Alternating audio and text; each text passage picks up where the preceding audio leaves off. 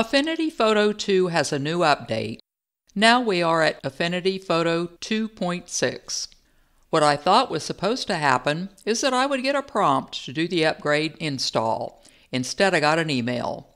I'm not great when it comes to updates. I get comfortable with a certain thing and I don't want it to look or be different. I only like change if I'm the one who's doing it. I always do Microsoft updates, but as far as anything else, it's meh. Hey, what can I say? I'm old, uh, mature. The Affinity update uses AI technology. This term seems to have an interesting reaction from people. From it will solve all of our problems and make our life easier to this is just another example of Big Brother trying to control us. Yeah, I read 1984 when I was in school, and that was before 1984. For me, AI was nothing more than an annoyance because of Microsoft, speaking of Big Brother, and an irritating little thing called Copilot that installed its annoying little self with my Microsoft Office 365 update. The first time I noticed it was when I opened a Word document, and that Copilot icon appeared next to my cursor. It kept trying to give me suggestions, like that person that thinks it's okay to give you advice when you didn't ask. I finally got that little thing to stop chasing me down the page, and it only appeared when I first opened a document. I don't need an assistant, I need donuts. After searching through many videos, including those that gave all sorts of nerdy but useless advice, I found out that all you have to do is go to File, More, Options, click Copilot, and uncheck it. That is time I'll never get back, Microsoft. When you install the Affinity update, there are some separate files you need to install. If you don't want AI in your life, you don't have to download it. I see you, Microsoft. Since these files have already been AI trained, Affinity doesn't need to use your data. Also, the files are installed on your computer and not elsewhere in the cloud storage of the vendor. I see you, Adobe and Doodly. If you don't get a prompt to install the 2.6 update, you can go to Help up here, and then you can check for updates. So when you click on Check for Updates, it's either going to tell you that you have updates or you don't. In this case, it says I don't have any updates available. I'm currently using the latest available version of 2.6. And that's because I've downloaded already.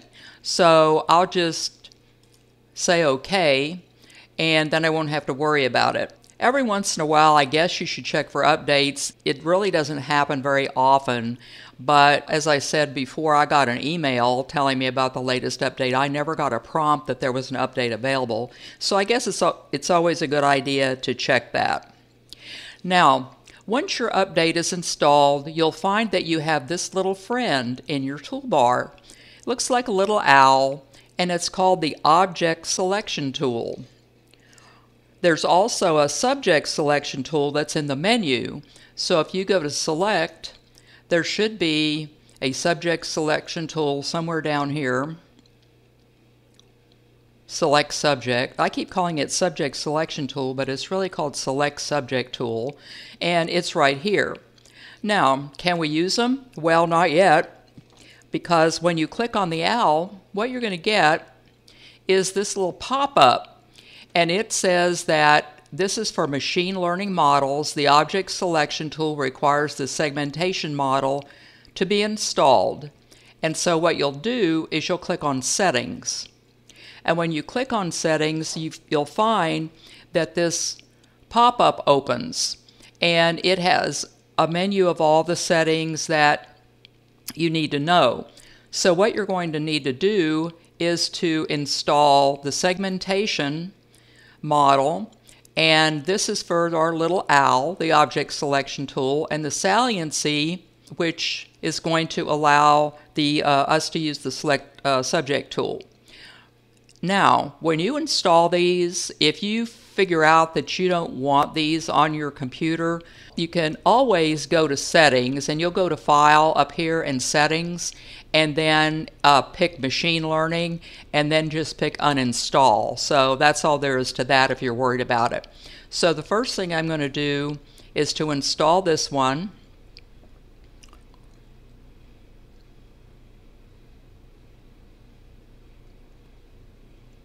And then once it's done, I'll install the other one. And then once it's done, uh, you can tell that they're done. You probably know this already, but I'll just mention it in passing.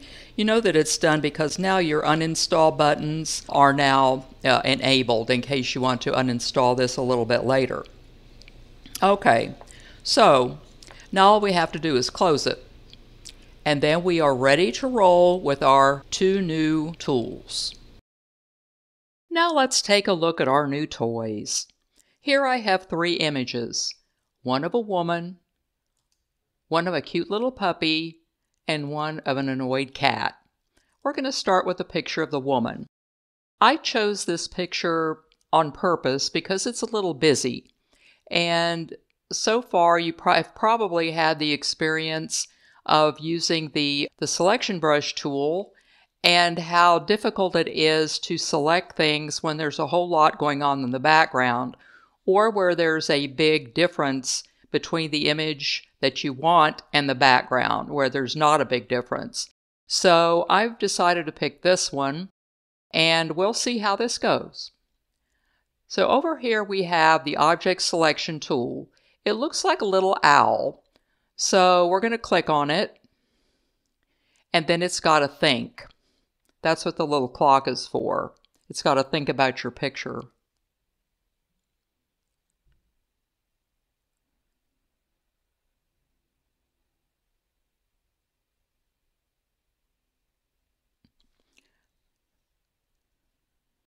Now once it's done, you're going to see that there's a little crosshair right there.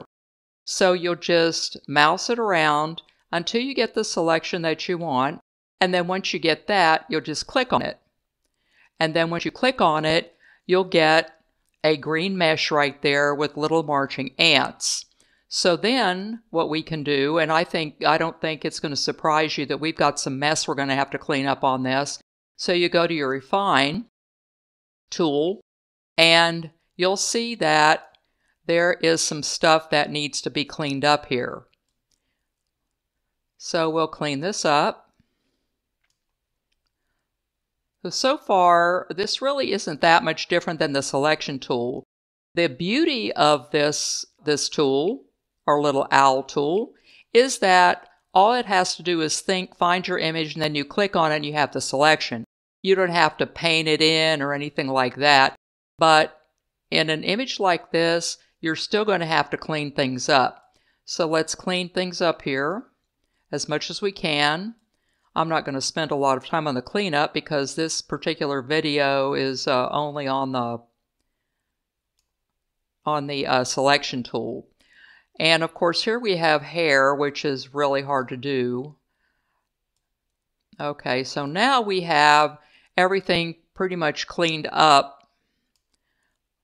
and of course, you're going to have to do some more work on it. To see a little bit more clearly, we can go down here and under selection, we can go to new layer with mask and then apply. And then it's got to think a little bit. And now we can really see the stuff that we have in here. We have all sorts of stuff that we're going to need to clean up. So here we can clean stuff up because we're painting on a mask. So we clean stuff up here with the paintbrush tool. Remember to click on the mask and this will go away. So we can clean stuff up like that. Or another thing, remember that we did a long time ago? We went and found the lasso tool which I think is in here.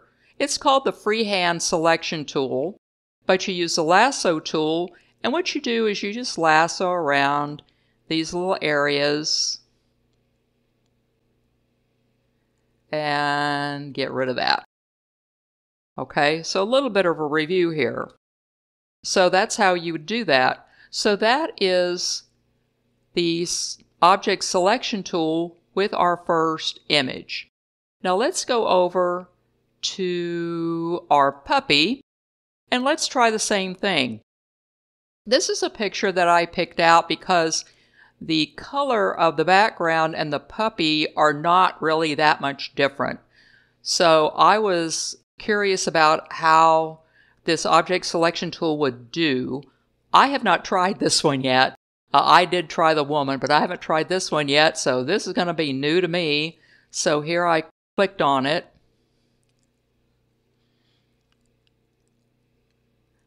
I know one thing I don't like about this so far is it takes a lot of time to think. I could have had my whole selection done right now with my selection tool. Oh, there we are. Okay, so we need to, to see how much we can get. I found by mousing around a little bit, you can get a pretty good... Oh, that's pretty good, yeah. So you have to mouse around to see if you can get the selection that you want, and then click your mouse, and then you get your selection. So now all we have to do is to take the mouse off, and you can see the marching ants, and then click the Refine tool so that we can see what we have left. And as you can see, this right down here needs to be cleaned up a little bit.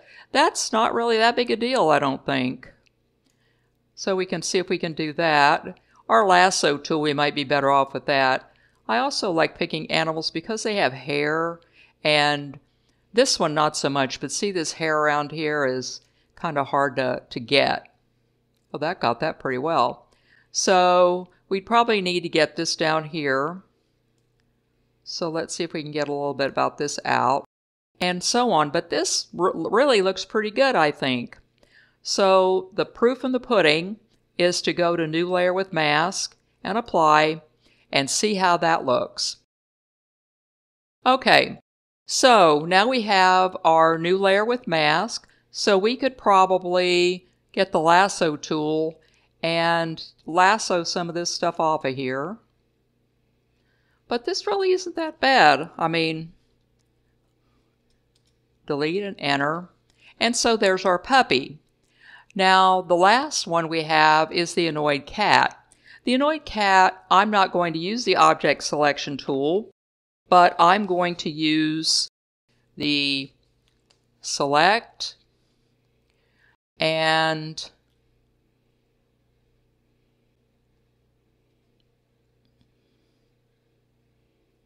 the select subject right there. So we're going to use the select subject and it's got to think. This one thinks a little bit faster than the object selection tool does. I have plenty of RAM on my laptop. Well, I don't have tons of RAM, but I have enough RAM. And uh, to me, this shouldn't take too long. Maybe the um, maybe the app is a little buggy. We'll have to see. Okay, so we did the select subject. Well, what does it mean by select subject? What this does is it analyzes your picture right here, and then it tries to figure out what the subject is. And obviously it's figured out that the subject is our cat, so it has selected it. So now that it's selected it, all we need to do is to go to the refine the refine button. And remember, you have to press this, this uh, tool over here to get your refine button to show up. I don't know if you remember from my earlier videos, if you see my earlier videos, if that refine button does not show up, it's not that you've done anything wrong. You just have to go over here and just hit the selection brush tool and it will show up. And then all you have to do is to punch refine and it will refine. And there you have almost a perfect selection. But you know, it's easier to see it when you go down here and you have a new layer with mask and apply, and then you can see what that looks like. That looks perfect. So I'm really liking this one. So give these tools a try. In the comments, tell me what you think about it. Is this better than the selection brush tool where you need to paint your selection? Is it really more accurate? Well, to me, it makes things easier, but I wasn't wowed by it, especially the length of time that it took to think about my image. I was a little put off by that one. You know, and of course, you're going to have to do some cleanup on the images. unless it's an easy image like this with a really white background and just one thing in it. That's kind of a no-brainer for a selection tool. So give these new tools a try, and remember to like, subscribe, and ring that notification bell to show a little love, as I am not AI.